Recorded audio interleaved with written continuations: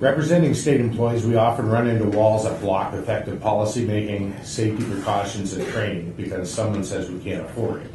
Uh, we also face a constant challenge of having to lose quality personnel to other uh, uh, other agencies or outside state agencies because after we've invested uh, training and experience in them, um, they go to some place that ends up having better safety precautions or a better living wage.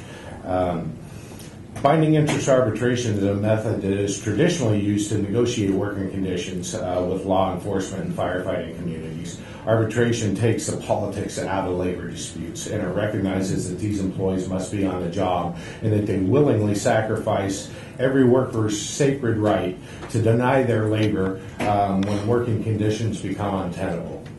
Our public safety personnel join other brothers and sisters who are first responders in this pledge to serve the community regardless of their circumstances. We are asking you um, here today to recognize that pledge by granting this their ability to take the politics out of their labor disputes when public safety is concerned. These folks sacrifice much, and we hope you'll recognize that by voting this bill out of committee. And I thank you for your time today. It's important to share with you our frustration with the current process.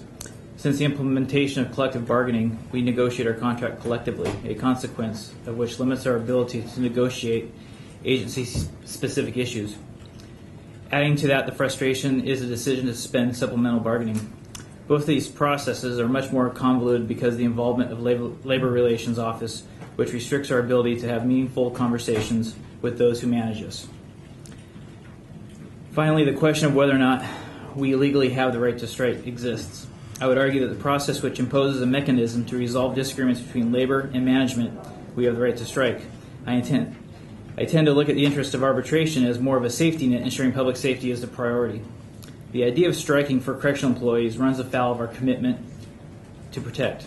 Unfortunately, when existing processes fail us, our issues fall upon deaf, deaf ears. We must have the ability to seek resolution. We were placed in that situation last year over negotiations which, which almost ended in a strike. We currently have many safety issues that need to be resolved. For example, in rural areas, the firearm threat is more likely to come from a rifle than a handgun. Our current ballistic vests will not stop a rifle round. These issues need to be resolved.